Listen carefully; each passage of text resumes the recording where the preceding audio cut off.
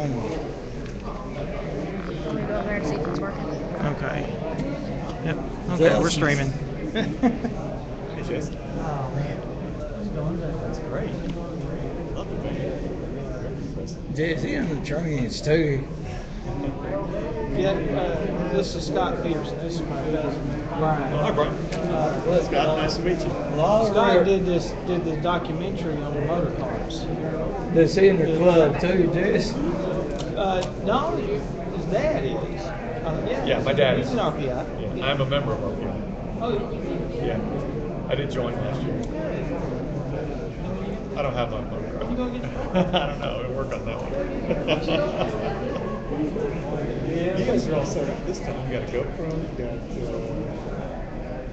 this one. yeah, I'm, I'm streaming live.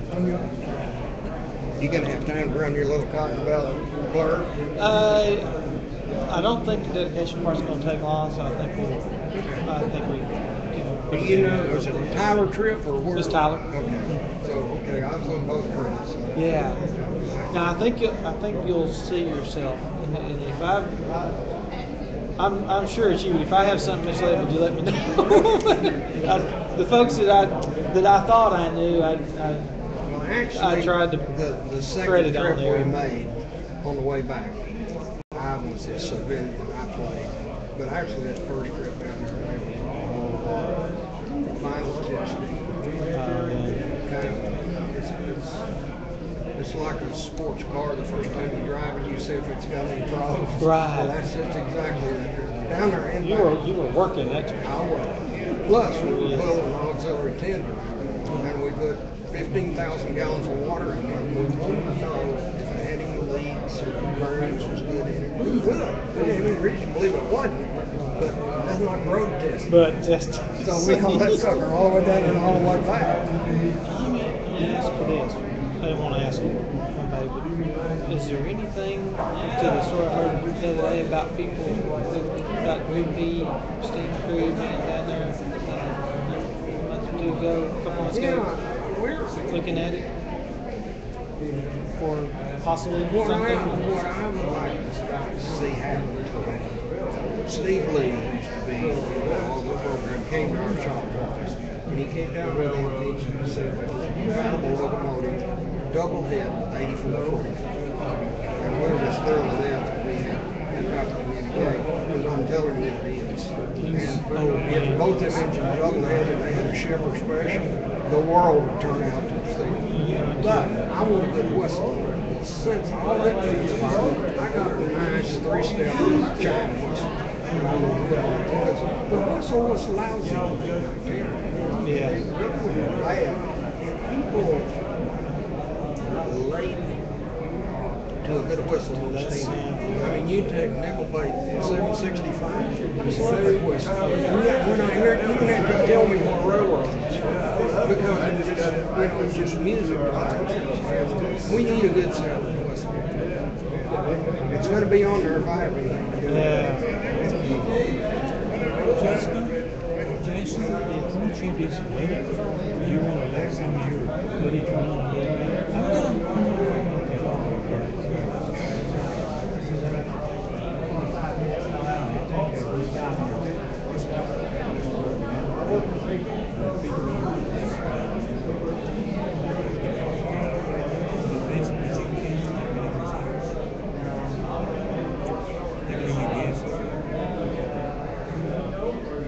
I counted ninety. I can see all of that. Some may have come in. Some didn't. Some guys, I mean, I didn't see, they didn't leave.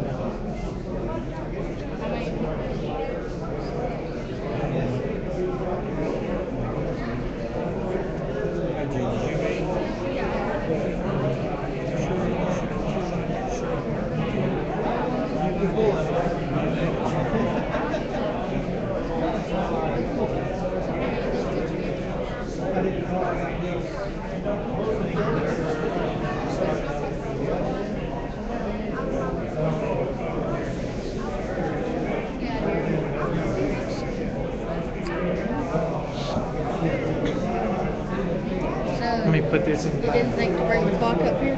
No, I didn't.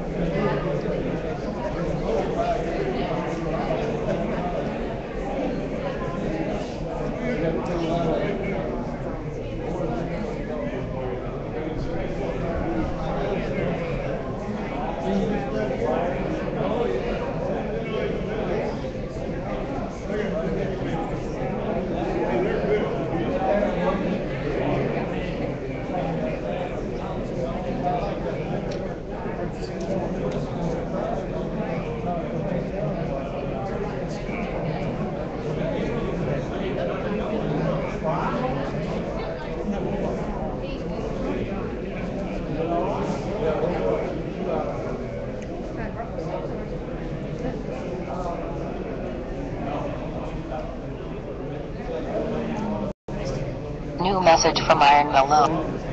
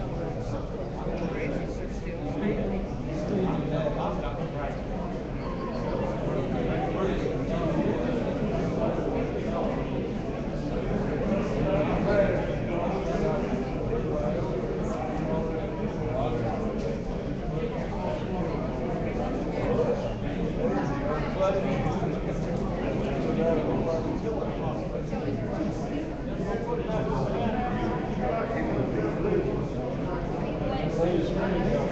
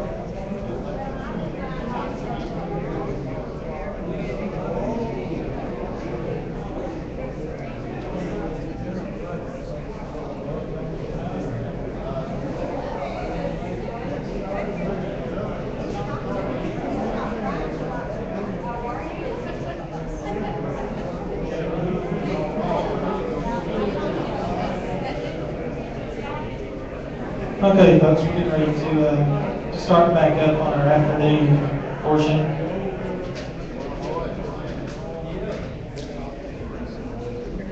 While we're gathering back up, I want to take opportunity to, uh, acknowledge and thank our sponsors for the event. guy that's been with us since we, we started to make appearances, each one has gone out of his way to, uh, to help make this possible and, uh, do a lot of things for us, and that's, Defebaugh, the Blacklands Railroad, who is a great supporter of us, uh, all along. We appreciate everything that he does to help make this event what it is, his participation in it. Uh, Also, this year, we have Alliance Bank is sponsor. Uh, They're the Silver Spike sponsor, and we really appreciate them coming on board with us and uh, helping out with the event. We have uh, three Bronze Spike sponsors uh, this year.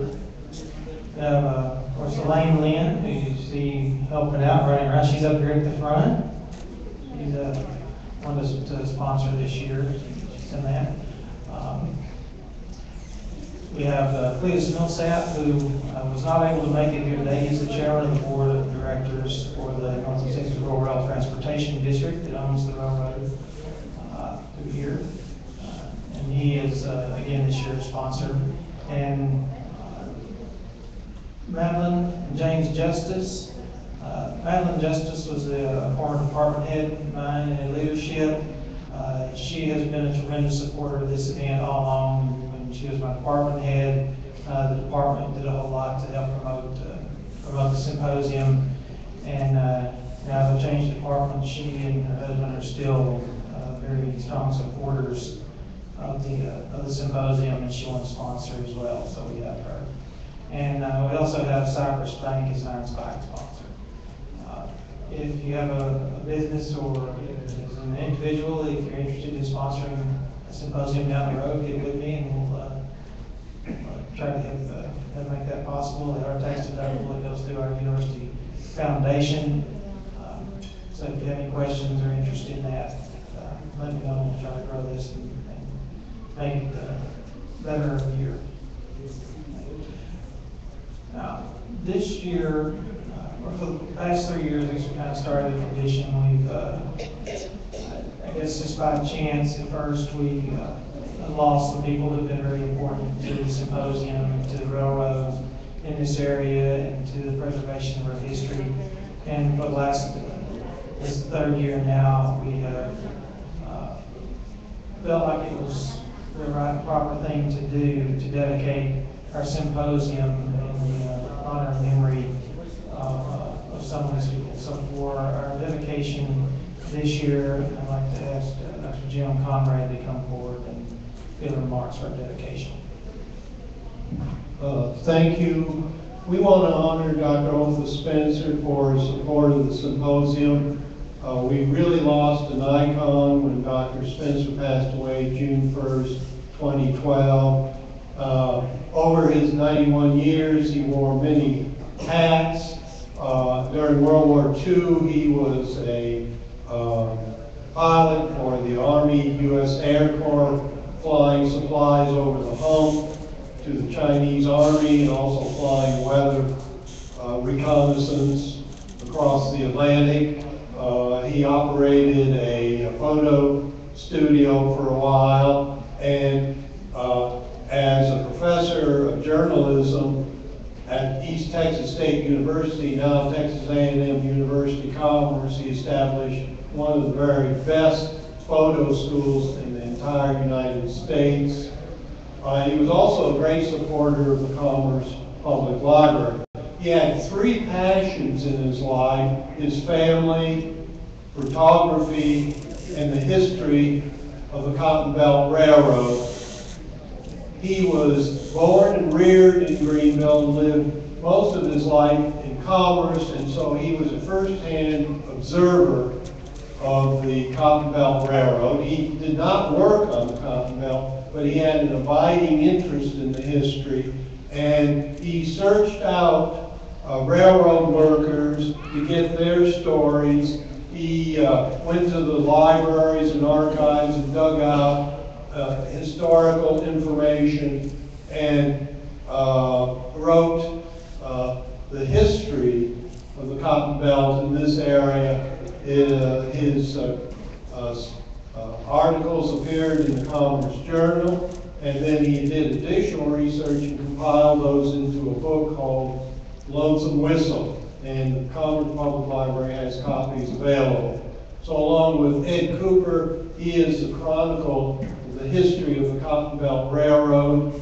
Uh, We uh, uh, are pleased to uh, say that some of his collection will end up in the Commerce Public Library and uh, Texas A&M University Commerce Special Collections, so his memory will be perpetuated with, with uh, those materials.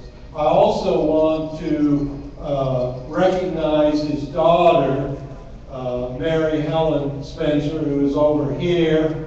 Uh, uh, So we are pleased that, that we can recognize such an outstanding individual. Uh, Thank you.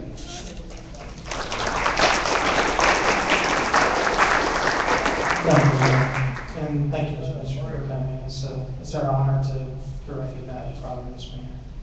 He's a, uh, uh, thought a lot of gentlemen. He, uh, he did a lot for the symposium and uh, was part of it for several years and uh, presented some of the work from his books uh, for our benefit. uh, do this. All right. Uh, One of the things I wanted to show you, I'll step behind, pay no attention to the man behind the curtain. Uh, I'll step back here for a minute. One of the things I wanted to, uh, to show you as we talked about the eight nineteen, uh, I shot a series of footage on one of the 819's trips to uh, Tyler from Pine Bluff back in uh, nineteen ninety-three. And, uh, compiled that into a short video clip, some of you, if you've been on YouTube and done a search for it, you can find it there also if you want to see it after today. But I want you to see the magnificent work of the team that restored that engine to see it it really, as it should be seen, under steam and on mainline railroad.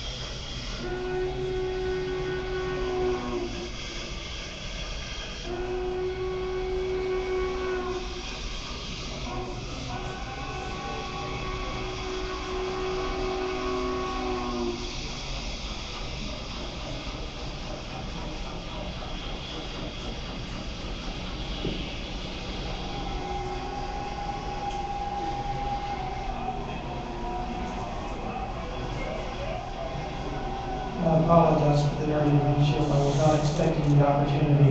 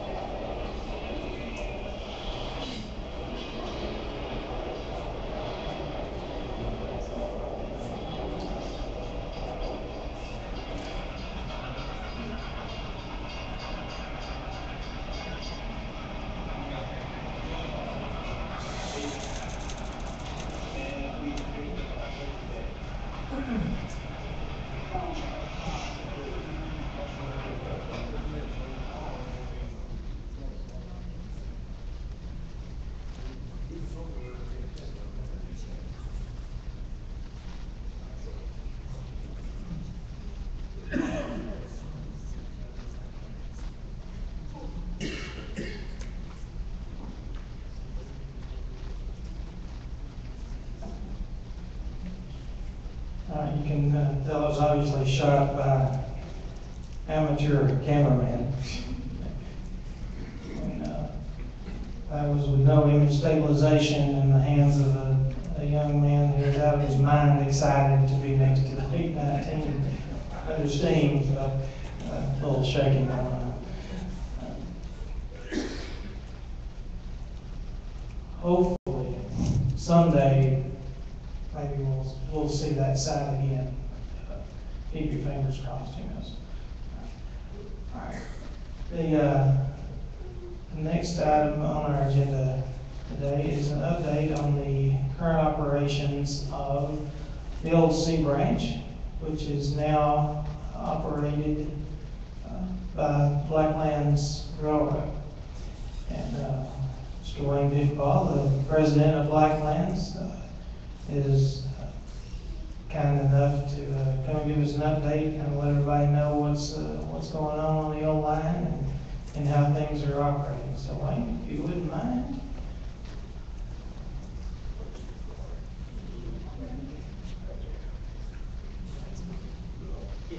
Okay. Uh, again, uh, thanks, Jason. Uh,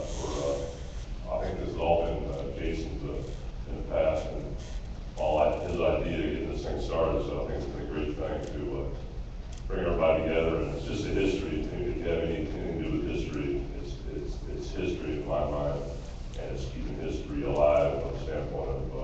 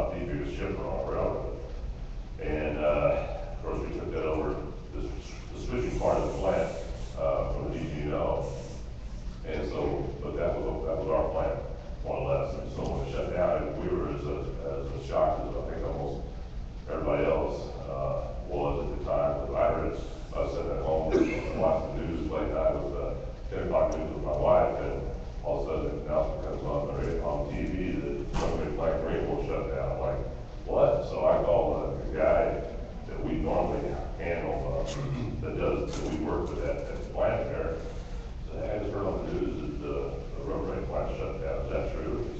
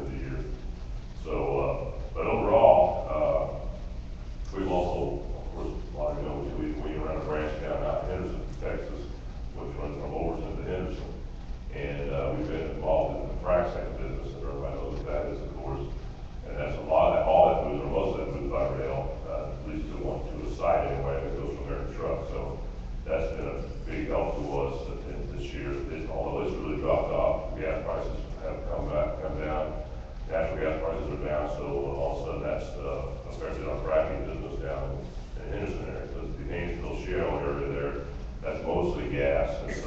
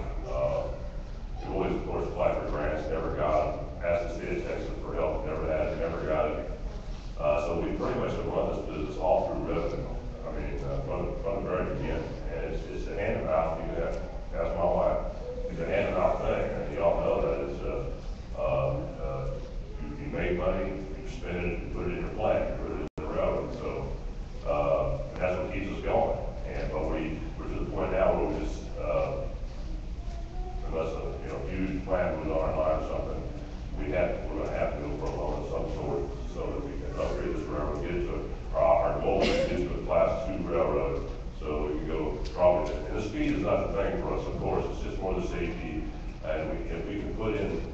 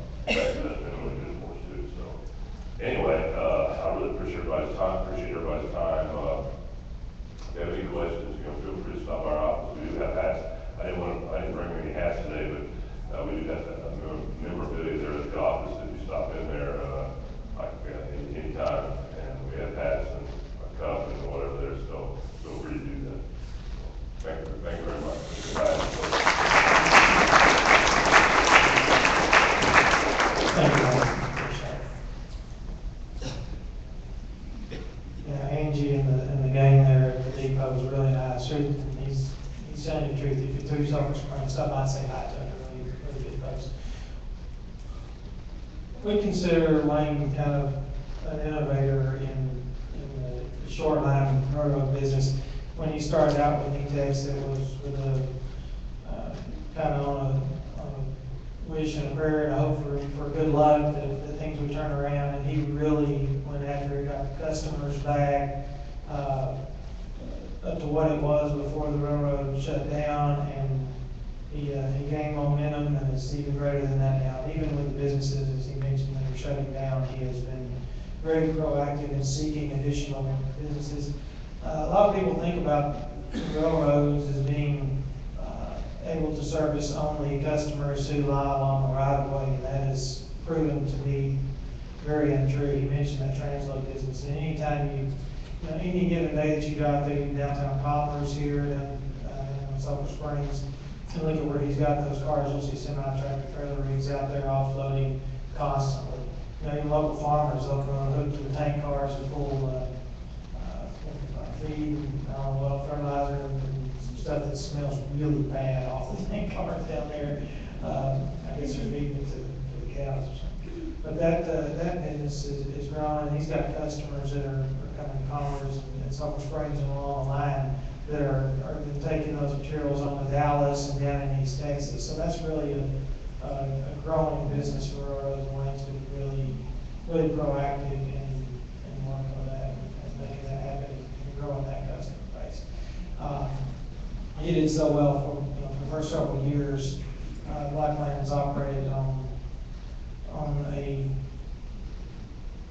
I guess a question, you know, series of short-term contracts. And, you know, he was let the we, the board it from year to year, from six months to six months, whatever that was set up. But, uh, you know, I'm very proud of the fact that, uh, at least since I've been on the board, one of the things that we've been able to do is recognize Wayne for his proven ability to run the railroad and run it like a railroad should be.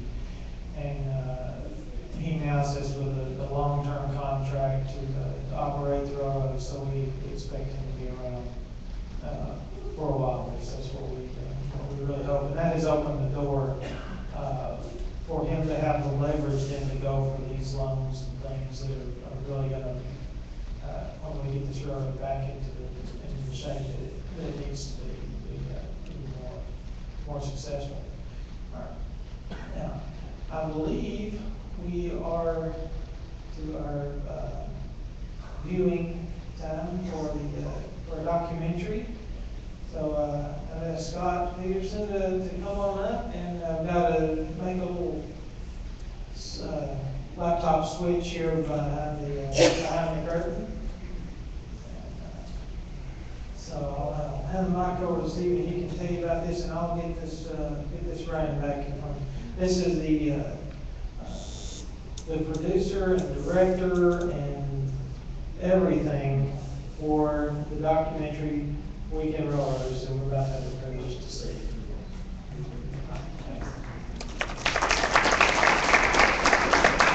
Thank you. And uh, I just want to say, uh, you know, thank you to Jason Texas A&M Commerce uh, for hosting the symposium. Uh, It's my first year to come to this, and uh, had a fantastic weekend, and it's been great. So plan on coming back next year. Um, Just to give you a little background on this film, um, I was introduced to the motorcar hobby uh, through my dad, Ron Peterson, who's here in the audience today. And uh, when he first got into it, he started taking me along some rides with him. We go uh, on rides here in Texas and up in Oklahoma. And uh, I was just fascinated by it. And um, what first got me thinking that this might be a good subject for a documentary was uh, all the interest we would generate whenever we go through a town or a station. Um, you know, all the old people would always want to come up, look at the cars, and ask us about them. And even when I would tell my friends what my dad was doing, it always generated a lot of questions and interest. And so that's what first got me thinking, okay, I think this is a story worth telling.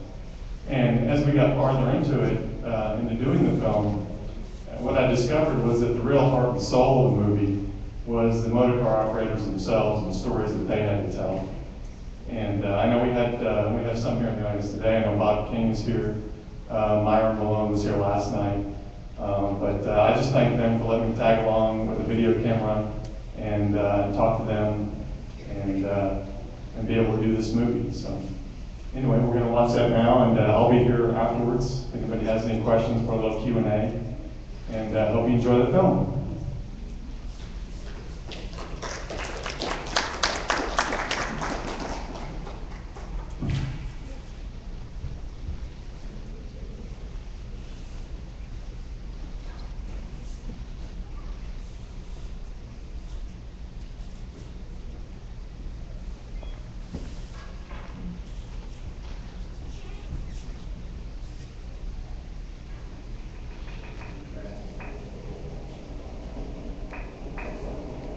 When I was a child, I saw some of these cars operating on the tracks in and around San Antonio. It's more fun to go ride than it is to work, so I bought this car, and uh, I've been playing with it ever since.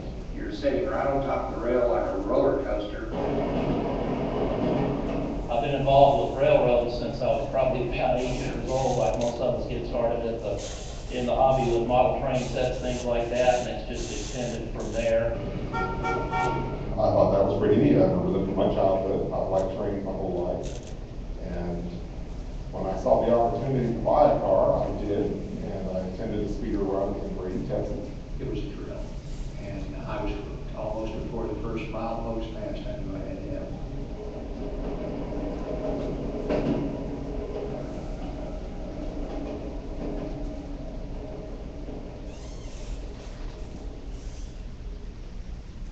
On today's railroads, virtually everything's mechanized. There seems to be a machine for just about everything, from driving spikes to.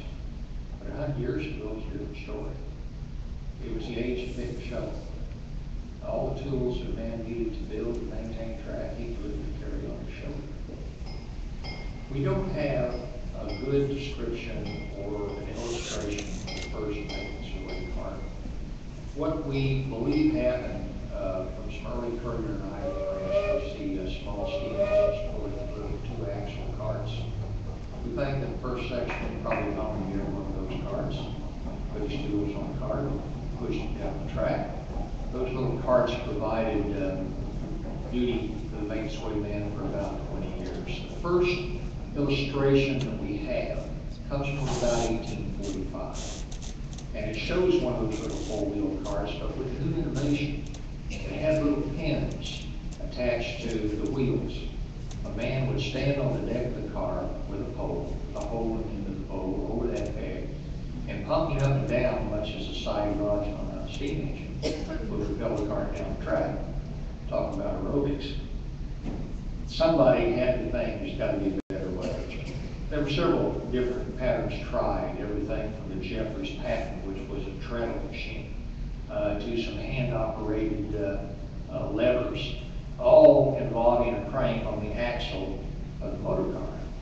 Well, that crank was really the key. Uh, when the Civil War uh, came along and the Union armies were moving down into the South, General Haupt, uh, who was in charge of uh, the Yankee Army railroads, followed the, the army very closely. Someone brought him a drawing of a new kind of hand car involving a pump mechanism with four men, up to four men, can stand on the deck of the car. He liked the idea.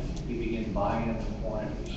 Using these little carts, uh, party of soldiers could go down the railroad uh, ahead of the maintenance gangs to find the spots that needed uh, a repair.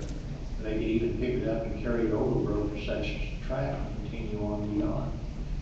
When the Union Pacific and the Southern Pacific met in Promontory, Utah. Those lines were built with thousands, literally thousands of those little pump cars. The pump car remained the maintenance wayman's uh, primary means of transportation for about 30 or 40 years. At that time, sections, which are track segments maintained by one group of men, were historically three to six miles in length. Coming to the hand car gave those men new mobility, the ability to reach out further, to carry more tools with them, and to be fresher and, and better and more able to work when they reached the work site. Sections that had been three to six miles with coming in the hand car could now be as long as ten miles. It wasn't until the eighteen seventies that we see the next innovation come along. George Sheffield uh, had about a five mile commute to work each day. And he would walk along a railroad track that was little used, especially at night.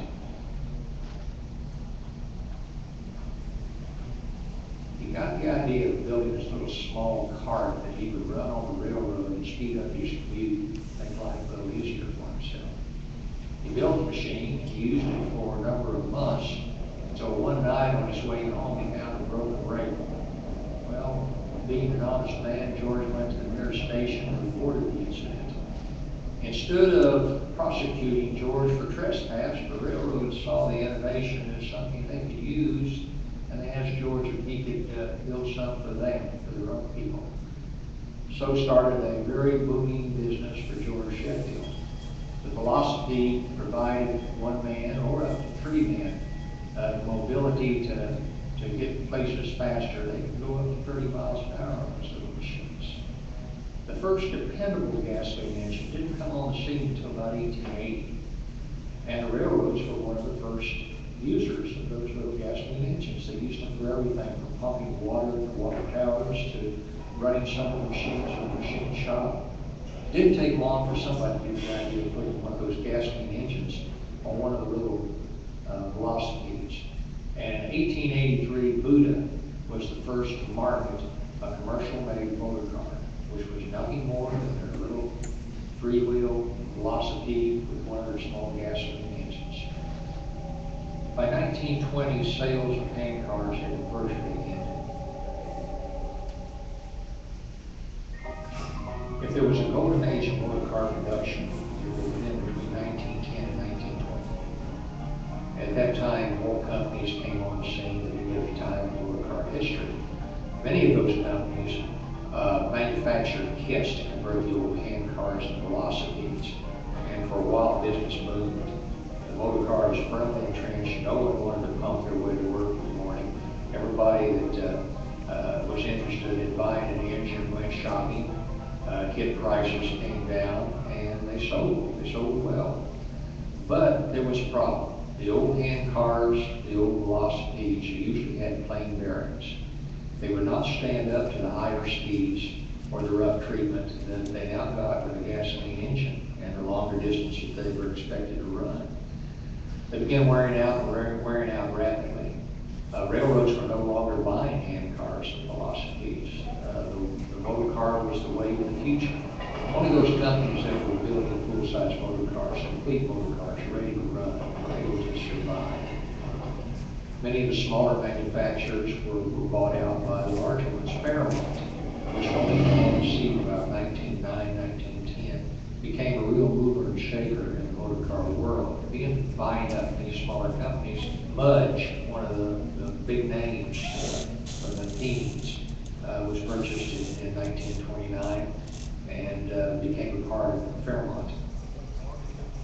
From 1920 to about uh, the mid-1950s, motor cars didn't change all that much. The world uh, motor cars was dominated generally by one-cylinder, two-cycle engines, uh, what we would call the hit or miss or popper engine. Innovation is expensive.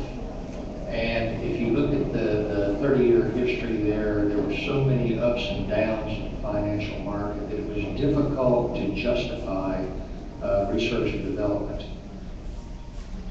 The thought of being able to transport men in some vehicle on the highway to a distant point and then put that same vehicle on the rails was a very attractive idea. Rail is the trademark name coined by Fairmont. They're hybrid vehicles. Uh, a vehicle is equipped with small drop-down wheels that can be lowered to capture the rail and guide the truck, the vehicle, the car, the station wagon, whatever, down the railroad. The only uh, criteria being that the width of the rubber tires, which carry ninety-nine percent of the weight of the vehicle, uh, have to be narrow enough to fit on the ball of the rail. Beginning about 1937, 1938, a company named Evans came out with the first commercial high rail. It was a new idea, didn't catch on quickly, and World War II definitely interrupted the, the business that they had hoped to capture. Fairmont saw the handwriting on the wall. And in 1947, they began producing a better high rail, at least a cheaper high rail, than Evans had produced. It was lighter, it was cheaper, uh, it was easier to maintain, it was easier to operate. Uh, where the Evans systems had been uh, uh, pneumatic, the Fairmont system was mechanical.